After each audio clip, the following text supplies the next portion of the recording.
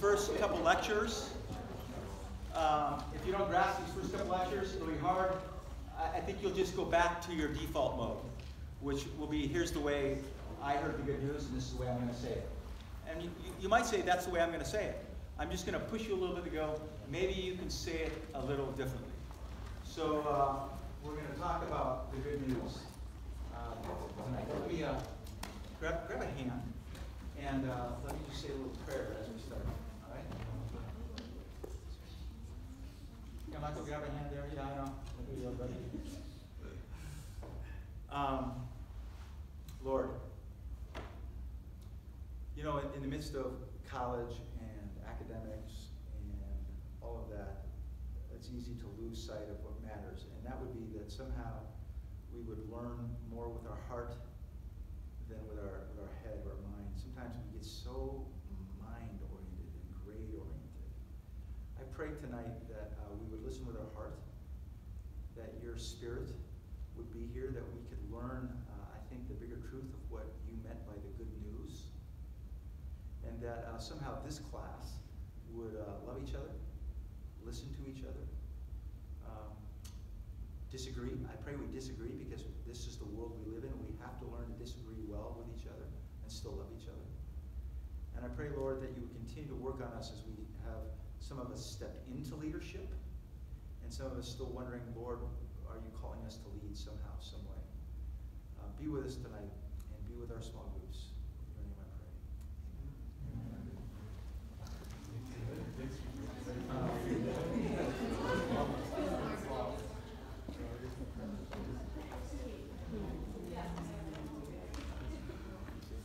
So if, if you can't see this, yeah, get in a little place you can. I'm sorry about this. Uh, um, this is probably uh, considered maybe Jesus' first uh, announcement, uh, maybe the earliest announcement that he made uh, after 30 something years of silence. We finally, he breaks onto the scene in Mark uh, chapter 1 with these words The time has come, Jesus said, the kingdom of God has come near. Repent and believe the good news. The good news, the, the word in Greek is euangelion. It was actually a term that uh, runners who were like, uh, they didn't have like cell phones back in the day. They didn't have runners who would watch wars when like cities were being sieged or whatever, and they would watch these things. And the, the, if you saw the runner coming up over the hill going euangelion, it means like, good news, we're not all being killed, you know.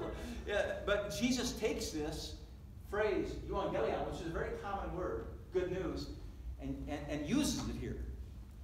Repent and believe the good news. The reason I say this is because so often we hear these things and go, oh, but if you were back in the time, it would have been like, hey, come on, we're going to the Super Bowl. And everybody go, oh, we just click into all this stuff.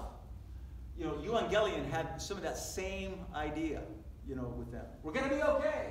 You know, we're going to be okay. Repent and believe the good news. Um, so, turn to your neighbor.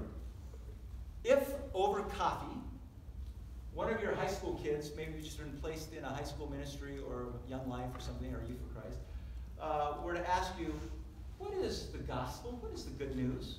Uh, what would you say? You have about uh, a minute and a half just to share with each other. Ready? Go. What is the good news?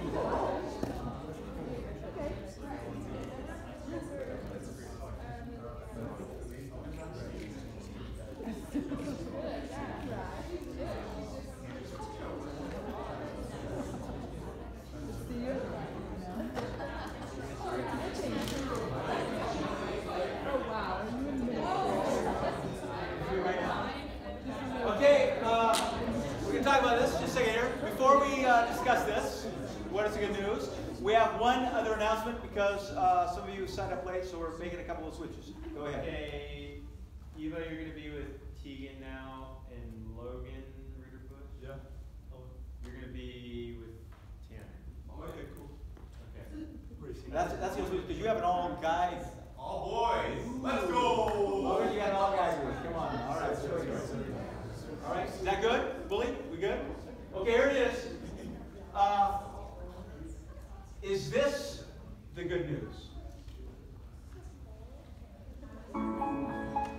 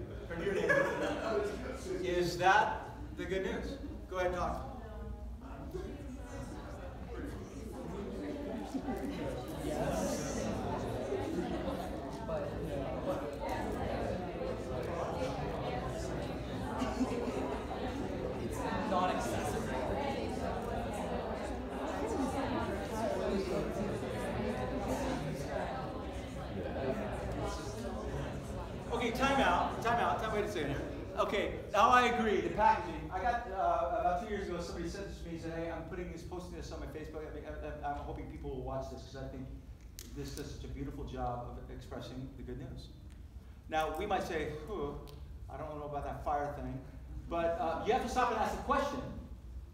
Even though we're seeing it, but but what do you believe honestly about it? Like, do you actually believe the idea? Now, know you wouldn't want fire, that's too much. But do you believe that that's kind of the story? That the good news is you're a sinner, God is holy, you're going to hell, God kind of wants to love you, but He can't. He has to kill you. Jesus says, Don't kill Him, I will die for them, and then Jesus can love you. Is that the good news? So you can, what? Go to heaven. Because if you don't accept that, you will go to hell. So you might not like the music. It's not this tender music with fire. Look. Oh, dude, that- that's where I might burn. You know, um, but I, I wonder, and I was to say this. I grew up, as much as I didn't like this, with this as the message, even though I would try to make it sound a little nicer. I wouldn't have fire. Um, I grew up with, uh, I mean, we took the Bible and we put it into, uh, my generation, put it into four laws. Or we took the whole Bible and somebody came to, I was at the fair last year, and there was a little um, Jesus people there, and they handed me this tract. Said, hey, you need to know this. And it says, what uh, you miss by being a Christian. This is what they handed me at the Spokane Fair. What you miss by being a Christian. Hell. Uh, and this is what they were giving to people the good news. So I, I get it. What is new? I grew up with this. I grew up with I think it was what I call a six a six line gospel message. Here's the six lines. Make sure you write some of this down, please, because you just need to contemplate this in your in your world. Uh, there was this thing called the Garden of Eden. It was perfect. But then humankind fell and ruined it. So one, perfect. Two, the fall, they ruined it. Then three was we live in condemnation, separate from God, because God can't love us because we're sinful. Uh, can't be around us. So we live in condemnation. And but the cross came. Jesus came and died on a cross. That's the fourth. So that I can go to heaven. This is the fifth. Or if I don't accept the cross, I go to hell, which is the sixth. That was the good news that I with. And I want to say this. I came to Jesus going uh, with that good news. Um, and here, here's what I'm going to say. What, what, I'm going to kind of blow some of this up for you tonight. And I, I also want to say this. I believe this is part of the message of the good news. But I don't believe that's the good news. I think it's a part of it. Um, and I, I, came to know the Lord, that story. I came to know the Lord in, in something like this because I was freaking afraid. I prayed every night, you know, that I wouldn't go to hell. Um, and I, I'm so grateful that God, the Holy Spirit, works, I believe, through all of our feeble attempts to explain Him. I'm so glad that God is bigger than that. I mean, I believe that the Holy Spirit works even through this dang pamphlet, which I want to light on fire. Burn it up because I, I don't like this presentation of the good news.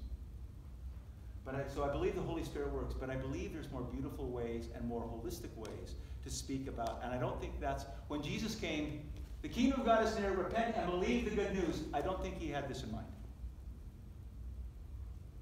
Well, first of all, Jesus is saying, repent and believe the good news, and Jesus hadn't even died on a cross yet.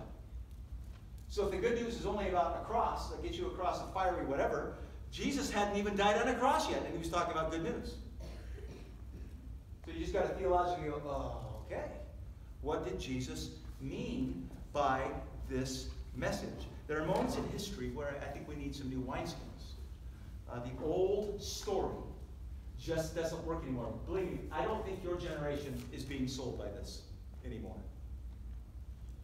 My generation created this. I came to know the Lord by something like this. And I thank God, but it, it did some damage to me too, because guilt and fear, uh, well, as a parent, we know this. If you want your, if you want obedience, use guilt and fear with your kids. It's awesome. They will obey until they walk out of your house. And then guilt and fear come back to bite you and they, they walk away from all, all of that, right? So what is this good news? There are times when we need, times we need some new wineskins. Um, we live in what uh, is called right now a post-Christian society. Anybody know what uh, we mean by that? Post-Christian society. I'll just say this. My grandparents grew up in a, in a worldview in America that just kind of, the Bible and God were just kind of a given. It was sort of just the underlaying of everything that was happening. My parents kind of followed up with that a little bit. But your generation, they're saying, is the first generation that is growing up was just like, there's no bottom line, no, no plumb line that the Bible is true, no idea that it would be a part of anything. In, in fact, the fastest growing religion in America right now, in your generation, fastest growing, is nuns. Not N U N S, but N O N E S, nuns. What do you believe in? yeah. nuns. It's awesome. They, they dress so cool. It's awesome. No, no. It's nuns that I'm nothing. That's the society that we're going. Not a, not a Christian society, but a nun. There's nothing. Religion is nothing. I don't believe in anything like that. You're the first generation. We call it a post-Christian society. Um, it's kind of like you're not born with a pre-Christian disposition. You know what I mean? That your grandparents believe this, your parents believe this. You kind of go, oh yeah, I just believe, kind of believe this. Uh, the, co the, College Transition Project, uh, they've written a book called Sticky Faith. It is the hottest thing in youth ministry right now because in this, in this study down at Fuller Youth Institute, down at Fuller Seminary down in California, uh, here's what they figured out out of this study. And we've known this for the last uh, probably 15 years, but nobody wanted to talk That uh, 50% of kids who uh, say they love Jesus in their youth group, they did studies on youth group kids, 50% of those kids will walk away from their faith after their first year of college. And some of you know some people, your friends, and some of you might in this room be close to that yourself, actually, uh, that when you get to college, you walk away from your faith. Um, so th this was the big study. Um, and it's, I'm teaching a youth ministry class right now, and it's rocking our world in youth ministry, saying, well, all our youth work, if 50% of those kids walk away a year from now or whatever into college, what are we doing? What are we building? Because it, it, it's not lasting. Um, so, in a post-Christian society, what we discover is you can come and talk about like the Jesus, you know, the, the cross. But in a post-Christian society, Jesus just doesn't fit anywhere. Like, if, if I just come and start speaking about Jesus, and you go to camp and you hear Jesus, and you hear all these cool stories, all you can do is, as a kid go, wow, he was cool. He's like a superhero. And then, oh, I'm sin sinful. And maybe by night five, you're kind of tired. And then there's this cry night where this formula comes up, and, and maybe you go, okay, well, Jesus comes in, and I guess he saves us because I'm a loser, and God is holy. And then I sect him into my heart, which is a phrase that's not even a biblical phrase. I, I mean, I get the idea, but it's not like a phrase, there's not a verse, you know, or anything. I accept him into my heart, and then uh, I get to go to heaven. And so everybody says yes or stands up on night six at camp and gets saved. Uh, but a year later, they walk away. And here's one of the reasons I think they walk away. Because I think this generation is going, well, I saved, now what? I, I got life insurance, I got, I got health insurance. Okay, uh, I got to go to heaven. Uh, this is boring. No, no, I, I got the formula down. Okay, well, now what? So we need, you know, here, here's the idea. Uh, I don't know if you've seen the, the Rise of Skywalker. Anybody Star Wars fans here? I don't know. I'm not a big Star Wars fan, although I did see the first one in 1977, oh, premiere in Portland, with my girlfriend Amy. Oh yeah, I forgot that. Yeah. Um, anyway. Um, but here's my theory. I, do you like Rogue One or do you like uh, which one? Which one do you like better? Rogue One. So here's my theory. I'm not thinking for me personally. Uh, a, a, little bit like sometimes the way we present the gospel is a little bit like if you just went and saw Rogue One or even uh, The Rise of Skywalker without knowing anything else of the other movies, it might not be your favorite movie. I mean, unless you know the rest of the stories and all the things that build up to it, I wouldn't put it up there with like the Shawshank Redemption or Forrest Gump or Saving Private Ryan or a new movie out right now called Just Mercy. I wouldn't put Rogue One up at that caliber of a movie. It would just sit there to me if I hadn't seen all of the other movies and just kind of sit there. It might move me, but it wouldn't move me like some other things. I think this generation, when we present Jesus as this formula to figure out, you're a sinner, Jesus bridges this bridge gap, this thing, so you can go to heaven. Um, it's like it's like seeing Rogue One without knowing the rest of the story. It becomes this formula, this thing. And I'm not saying it's wrong. I'm not saying Jesus didn't save you. I'm not saying Jesus didn't die. I'm not saying Jesus doesn't forgive your sins. I'm just saying that's not a big enough story to hold you in through your first year of college when you go, okay, now what? Now what? And I'm not sure that's what Jesus meant in his first sermon in Mark chapter 1 repent and believe the good news. New book came out. They did another study. What has kept kids? Now we know 50% walk away, but what about the other 50%? Why did those kids out of high school or the youth groups and young life not walk away? What kept them in the faith? Maybe that would be for even some of you here. What kept them in the faith. So they studied this, and they came out, uh, what they discovered is that these churches that these kids were in, that hung on to their faith through college, made three key shifts in how they speak about the central message of the good news. In other words, they didn't do this. They didn't put Jesus into a formula. They just studied this and realized here's what, and here's what they discovered. Shift number one. Students who hung onto the faith, their church somehow had less talk about abstract beliefs and behaviors and more talk about the person of Jesus and what he actually said and did. They actually spent a lot of time looking at the life of Jesus in the Gospels. Now, I, am just telling you what they discovered, okay? Number two, shift two, churches uh, went deep. They weren't just up here, oh, be nice. They actually went theologically deep.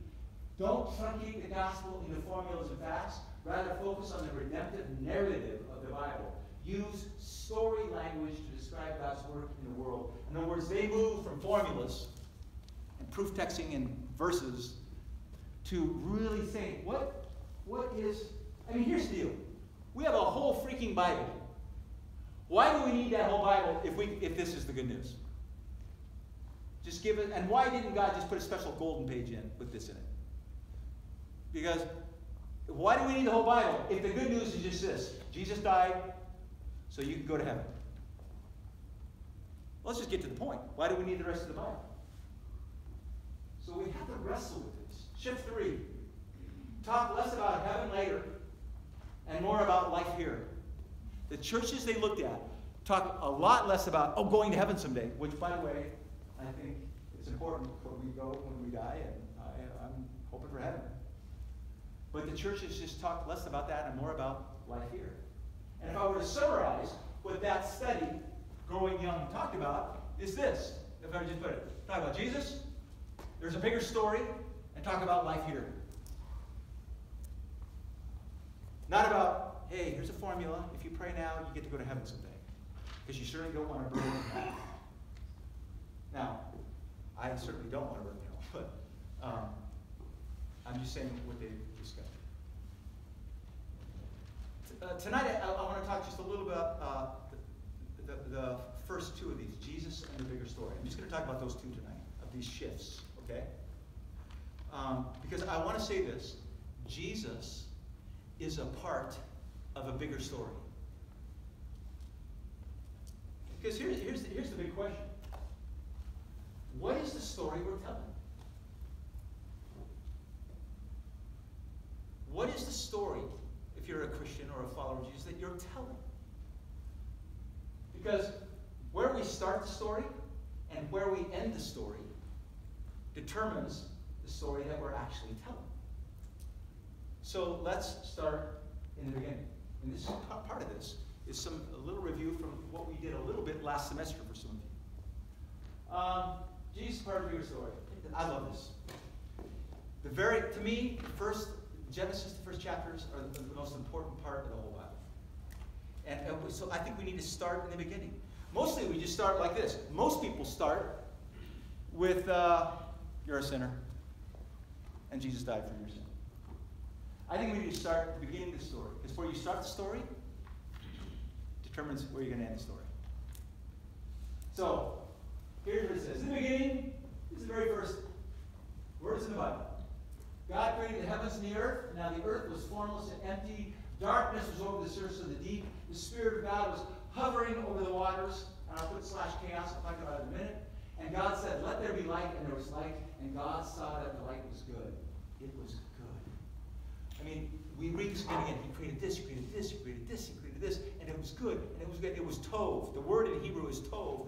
And the best way I can describe the word tov is, I, I like, I like the word in tune, It's, is, is, the best way I can describe it. It is so in tune. It was so mm, in tune. So harmonious. And this is God's Spirit was hovering over the waters. Now, I'm just going to say this again.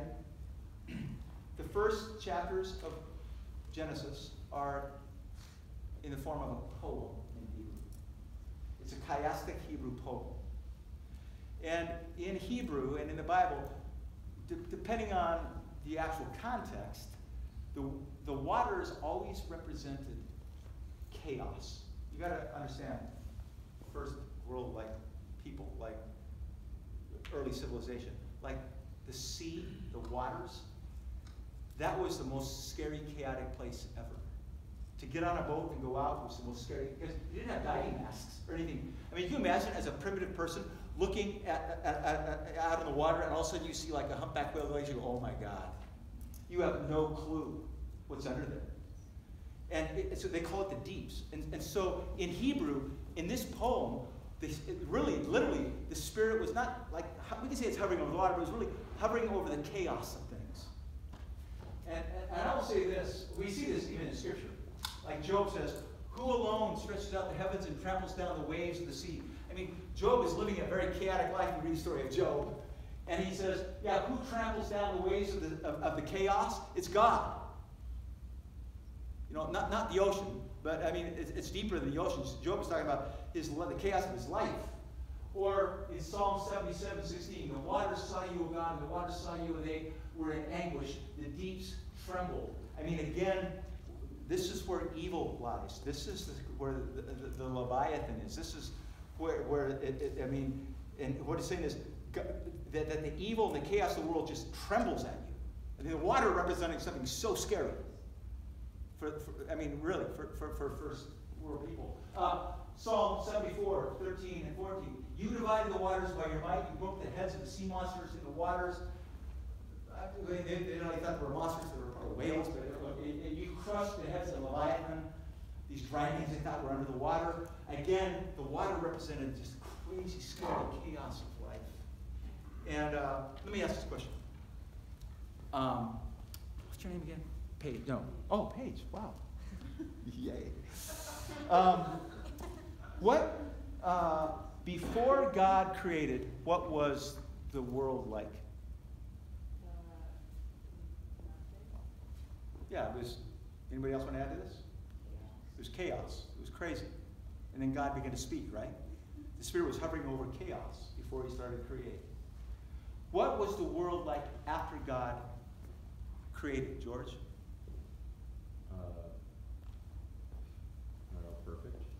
Yeah, perfect. Yeah. Um, this is how I think we mostly understand this story, right? It was crazy, chaotic. God spoke, and it was perfect. Um, actually, it wasn't perfect. Because after God created in this beautiful garden, there was a freaking snake in it. You know, so it wasn't perfect. There was some stuff in it that was causing still some chaos, right? Um, I grew up with this idea, and I think this is what kind of we grew up with, but our theology department talk, is talking a lot about this, that somehow God created and was perfect. And then we fell, there's all this craziness and all this evil, and it's still winding down, getting worse and worse. My, you know, we thought maybe Hitler was the Antichrist. My dad thought certainly was Obama. Um, it, it came down you know, I mean, you, you, some of the Antichrist is coming. It's, the world is winding down this evil, crazy place where, boom, whoever it is, and, and the Christians launch off to heaven, and this place burns and goes away. That's it. Rather, I believe the story is this it wasn't perfect, but it was good. It was in tune. And God met people, and He said, I want to partner with, with you. And we're going to talk about this. And God is working with us. And there's a fall, there's craziness, but God is drawing all the crazy, He's drawing this thing to a more beautiful picture of who He is until finally heaven comes to earth. We're going to talk a little more. So you, you got to stop. What is your view of the story? Is it this or is it this? And I want to propose to you that I think it's this. Now, listen to this. Uh, God blesses. In Genesis 22, God blesses the animals. I, have never thought about this. That God blessed them and said, Be fruitful and increase in number. He said this to all the animals. And then God goes on and he blesses humans. And he uses the same words that he used for animals. God bless the man and say, Be fruitful in number and fill the earth. You know, uh, man, it's just, uh, the word bless is barakah. That's the word in Hebrew. And it literally means this to adore or to kneel before. And it, it gives us this picture that God, the all powerful God, in his creation, in creating animals and human, literally went, Whoa, whoa, whoa. That is incredible. That is incredible. You're, you're created in this image. It's, it's, it's unbelievable. And humans, even more like, whoa, whoa, whoa, you know, because we're created in his image, like the most in his image. I mean, it, it would be like John the Baptist when Jesus showed up to be baptized. And John, Jesus and says, John, I want you to baptize me. And Jesus goes down and almost blesses, I mean, kneels down for John. I, I can't, why, why, you don't, you're God. I, you, I don't baptize you, you baptize me. And Jesus goes, oh, you baptize me. I mean, it's almost that humility you see in God. This incredible picture. Like God, and then, then we see when He created all of it. Uh, verse 31, God saw all that He made after He made human beings, and after He made human beings, just say it's Tov and Tune. He said, Man, it's Ma'od Tov. It's like stinking good. It's like unbelievably good. It's like so very, very good. I mean, this is where the story starts. And it's in this story, in Genesis 1 and 2, that we discover our purpose as human beings, which is the question every human asks What is my purpose? Well, the Bible, Bible answers this for us. We've been created to reflect God. Genesis 1 26 28. God said, Let us make humans in our, remember this? This first picture we have of the Trinity. God is this community in our image. Let us make humans in our likeness. So all of creation, which God blessed and went, whoa, bowed before, he bowed the most before humans, the closest to his image. Then God said, we were created to be in right relationship. We talked a little bit about that last semester. We were created to be in right relationship. You can look at this in Genesis, in Genesis 3 8, with God. This picture that God would just come down and hang with him in the garden. The man and the wife and the son of the Lord walking around. They would just hang out. They were created to be with him. Two, they were created to be in right relationship with God, created to be right in right relationship with each other. Uh, the idea that God said it's not it's not good that you're alone. You need to be in right relationship with somebody else that's like you. So God created a woman another human to interact with. It's not right to be alone. It's right relationship with the other. And they were created to be in right relationship with the earth. And God said, I give you every seed bearing plant of the face of the earth and every tree that has fruit and seed, and they will yours for food. This idea that there was this symbiotic relationship, that it was just good. There was all this stuff is for you. You can eat the trees and fruit, and, and it, it, the, the, right relationship with everything. It, it's, it's this beautiful picture with God, with each other, with the earth. And you get this picture. Secondly, the third, remember, we're created to reflect God. We're created to be in right relationship. And thirdly, we're created to do God's stuff. Genesis 1.28. God blessed them and said to them, Be fruitful and increase the earth, fill the earth and subdue it. Remember we talked about this word subdue? The word is kabash in Hebrew. It's a, Jew, it's a Yiddish Jewish phrase. Look, you put the kabash on that. It means you, you put a stop to it. Literally, what God is saying, we use it to, uh, to uh, initialize sort of a manifest destiny and empire.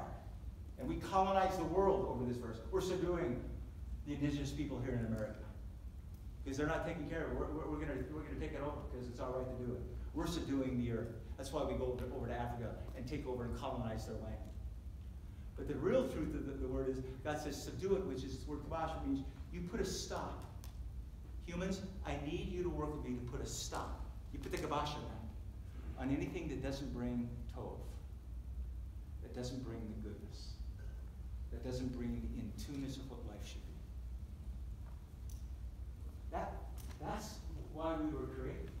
And, and, and to work it and care for it. I mean, the Lord God took the man, put him in the garden to work it and care for it. That word in in the NIV translation of the Bible that word, take care of it, is a word called avad in Hebrew. It's called avad shamar.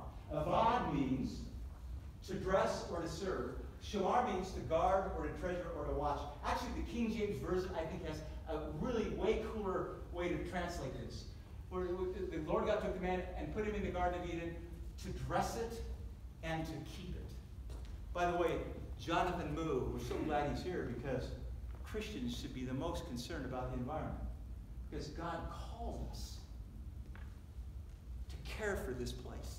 That's our purpose. To reflect God, to be in right relationship, and to do God stuff. He want God. It's an amazing thought that God decided to partner with human beings to bring his purposes to this, to this earth. Jesus called it the kingdom of God. Jesus talked more about the kingdom of God. In the Old Testament, was like, hey, I want you to subdue, put the kibosh. I want you to partner with me to bring my purpose. Jesus called it the kingdom of God. Bring the kingdom here. Live out the kingdom of God. That's what Jesus called. I mean, oh, this incredible picture. And we got to name animals. I mean, God's literally saying, hey, here, here's how I want you to partner. Like, you, you're going to name stuff for me. And our job here is to name stuff for God. To walk into places broken and say, I'm naming God. I'm bringing goodness here. We're going to change. This isn't the way it should be. That's our job as Christians. It's why it feels good when something gets fixed, where love is present, where forgiveness happens, because we were created to do that stuff, to do God's stuff. That's our purpose. And closes, this whole section of Scripture closes in creation with this phrase The man and the woman were both naked and they felt ashamed. I shared with you last semester. We cannot even imagine what it would be like to not feel shame. Because this isn't about, oh, you're nude or something, you know. This, the, the Hebrew rabbis will look and say, no, what God is saying to us there, there was human, human, unfiltered love. There was no comparison. There was no, hey, why are you looking at me that way? There was this perfect in tuneness between people. We can't imagine that because most of our relationships are so not in tune. Look at your families. Look at what's going on, even maybe what's preoccupying your mind right now. It's about broken relationships that aren't in tune. Jesus called this the kingdom of God. And what I want to say this, we talk a lot about original sin. But theologians now are beginning to go, wait a minute, we need to talk more about original blessing. Because the start of the story is about an original blessing. Most of us want to start the story. Remember I said this, where you start the story, where you end the story, determines the story you're telling. Most, I grew up, and I started the story with the fall. You're a sinner. I forgot about the original blessing. Isn't that beautiful? Just to stop and read that and go, whoa. That's kind of, that's kind of wild. Yeah, we've sinned. And, and we even had, we had to leave the garden. But God doesn't just stand there with his arms folded. I mean, this is, last year I just realized, and I was talking with Adam Nieder about this, just realizing, whoa, this is, I never saw this. Like, did you ever see Genesis chapter 3, 21? After they sin and God goes, hey, okay, man, the serpent, what in the heck? Okay, we have to leave. Um, I had this in our church, this picture, where God is going like this. Get out of here, you sinners! You know, and they're leaving. But I never saw this, this verse, Genesis 3 1. The Lord God, you know, because it says later that they were naked and they were ashamed. They were covering up because they, they listened to the snake. And God said, Hey, did you listen to the snake? Did you pick the? You know, and, and, and so uh, they had these leaves. And here God goes, You know, you're going to have to leave, but here's the deal. Um, here's some uh, new clothes. It's like God cares for this. Here's some new clothes. Put these on. And uh, he makes his clothes to cover our shame. I think God is saying, like, I know the shame of this world and the what's going to happen. I mean, this is all beautiful poetic imagery that you're going to compare and contrast and go, oh, don't look at me. So I will help you. I'll cover your shame, and it'll just be a little easier. Because I know it's hard now. And then here's the truth of it. The Lord, I, the NIV says, the Lord God banished them from the garden. But the uh, New American Standard and the King James say this. Say this. Um, and God sent them forth from the garden. Which is it? Sent forth is a little kind of oh. And here's the truth. I think God sent them forth, said, life's going to be different now. Here's some clothes. You got to go. And here's the good news.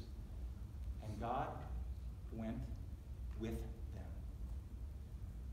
That's the story of the Old Testament. He hung out with them. He dwelt with his people in a temple, in fire, in a cloud. He showed up. He was with them.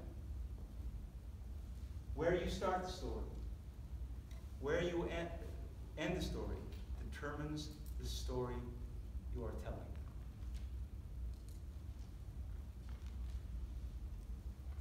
This is the story that we've been created to live in. This is what all humanity longs for. Because from the very beginning, this was our purpose. And we know what it's like. We've all had to leave the garden. But inside of us is a sense that there's this original blessing. This is rumbling around, covered by sin and all kinds of stuff. It's why uh, we have this ministry. Uh, some of you um, are serving. Is anybody here serving in Capernaum? I think, uh, yeah, you're, you're, Tori, you're serving in with Capernaum. And uh, we often have some of our students, youth groups, like the First Press youth group has come, and uh, they were, they've helped serve uh, in Capernaum just to help out with the, the students of special, with special needs. And many times I'll see high school kids start to cry. And I ask, what, why are you crying? What, what is bringing this emotion? And I think it's because they tap in hanging out with these kids with special needs uh, into, into their purpose. What they were created for, to bring the kingdom. And there's something about the kingdom that happens when you're around these kids. And it, it, it forces this beauty out of that's a piece of the kingdom. Everything we love has its roots in Genesis 1 and 2. Sunsets. Relationships. Everything we love has its roots in Genesis 1 and 2. Uh, nature.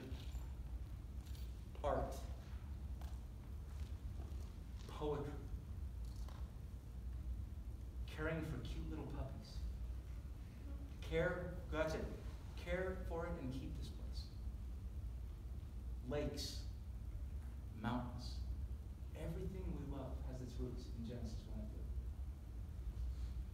2. Jesus did not show up about three quarters of the way through the Bible and start Christianity. Turn to your neighbor. Was Jesus a Christian? Turn to your neighbor.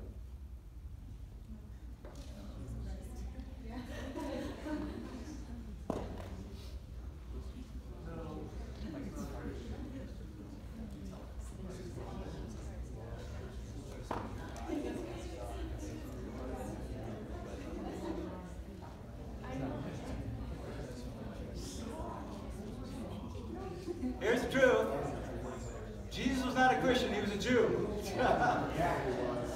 and he didn't start Christianity. In fact, there's only two times the word Christianity is used in the Bible, and it was never with Jesus.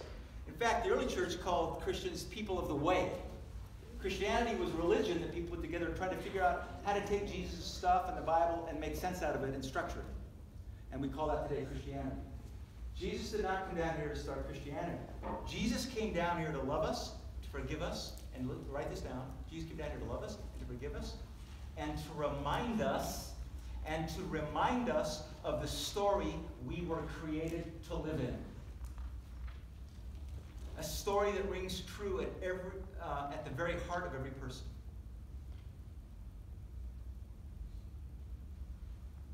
A story that brings sense to why we wonder about God.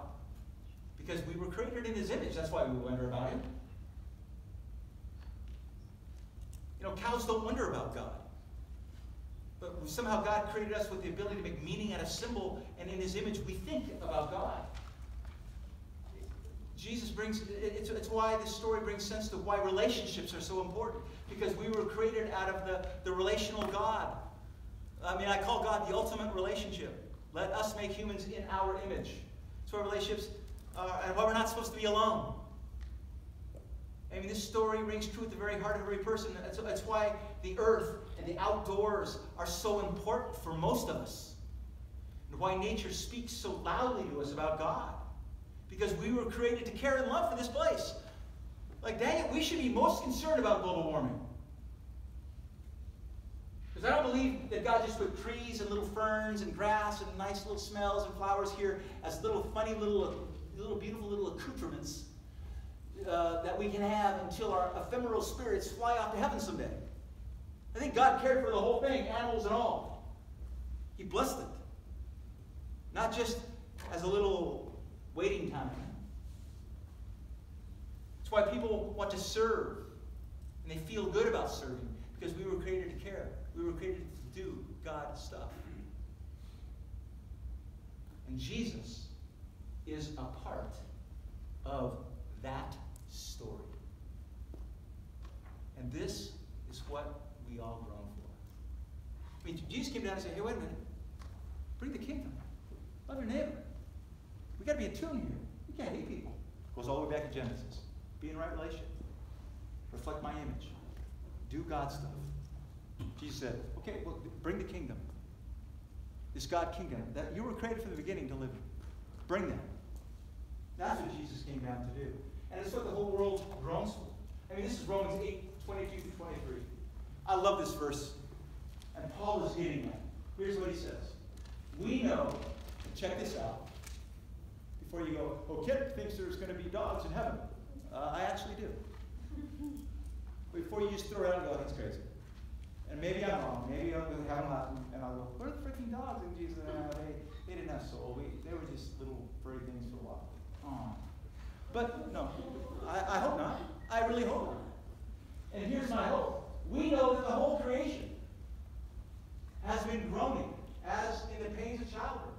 Right at the present time, not only so, but we ourselves who have the first fruits of the Spirit groaning inwardly as we wait eagerly for our adoptions as sons, the redemption of our bodies. I mean, God is talking not just about our bodies, talking about all of creation is groaning to find intuneness again. Original sin or original blessing? Well, I, I do think we sin. But I don't, I don't like the word original sin because the, original part was an original blessing. Now, sin happens, but the original part was an original blessing. We've all sinned, no doubt. But I'm just saying, I don't think that's what's most true about you. I think sin covers the story, Lindsay, that you were meant to live in. I think when God looks at you, He doesn't just look at you, uh, Matt Matson, and say, sinner. God sees this person within you that He created that can be a blessing. He sees what you can be. He's hurt by the way that sin has caused you not to live out the intuneness you're supposed to live out. But God is on original sin. God looks at it and goes, oh, man, if you only knew what I had envisioned for you to be. Now, sin has done some damage. But the original thing is not original sin. The original thing is you're a blessing. You're created to do stuff inside of all that that's been covered by sin is this unbelievable person in my image. That's the original.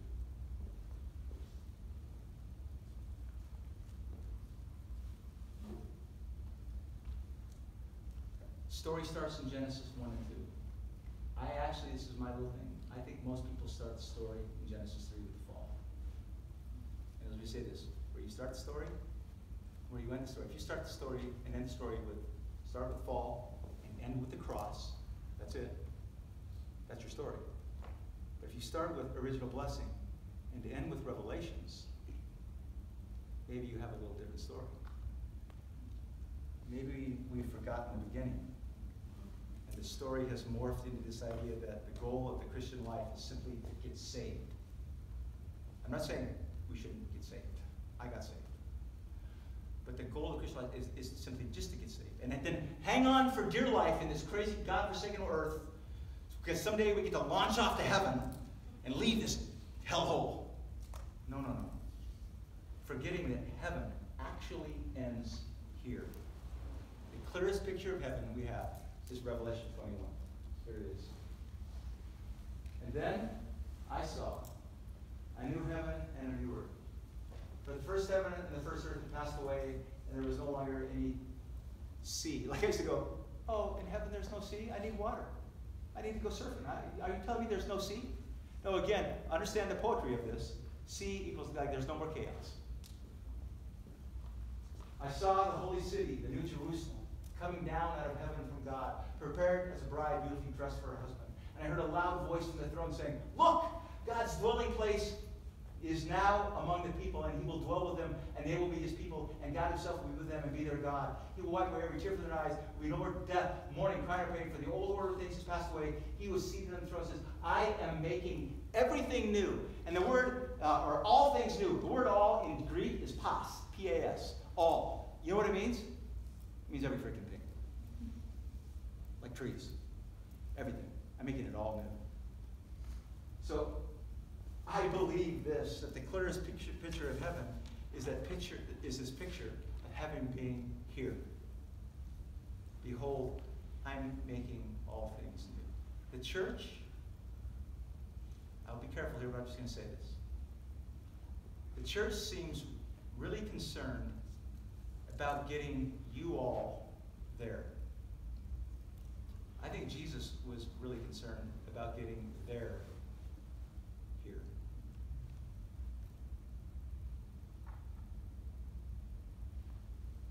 I'm not saying that there isn't important, but if you look at the message of Jesus, he was much more concerned that we bring that kingdom here. So maybe we should start bringing the kingdom and doing God's stuff now. That's what we were created for. That's what Jesus called us to do. The good news is the story of a God who should have given up on us. This is the story of the Bible. Should have given up on us. But he stuck with us, gave us clothes, walked out of the garden with us.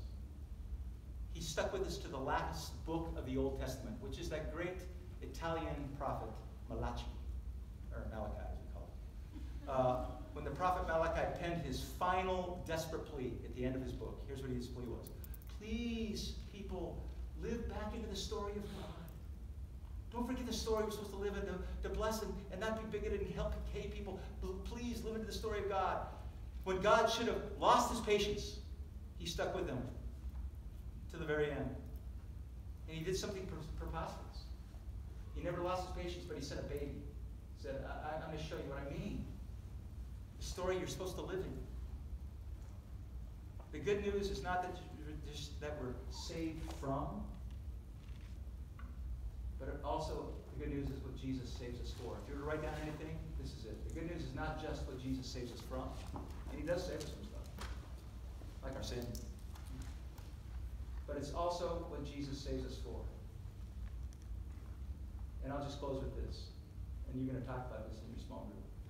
And maybe this generation needs to understand the four in order to better understand what they were saved from.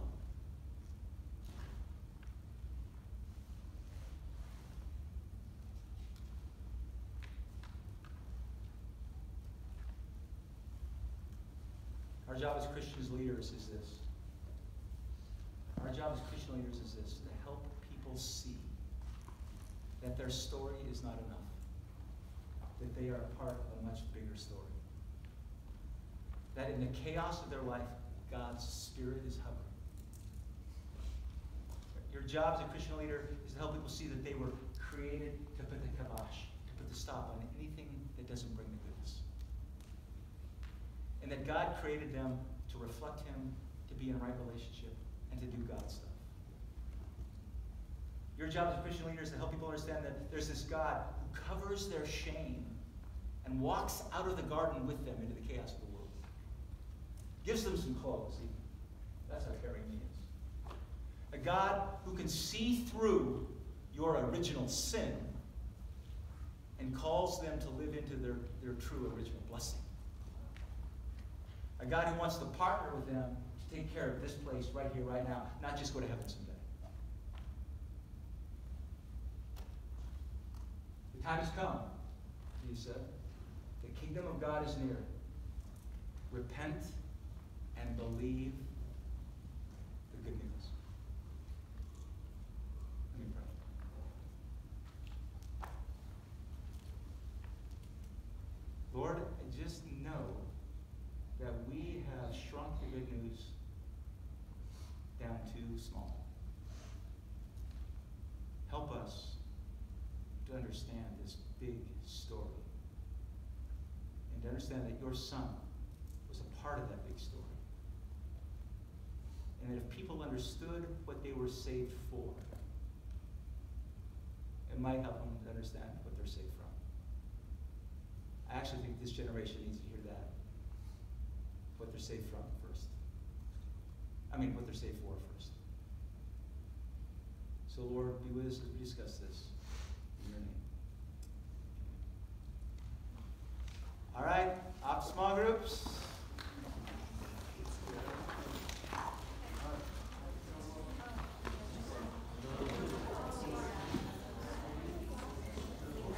Uh, no, but she'll, she will tell you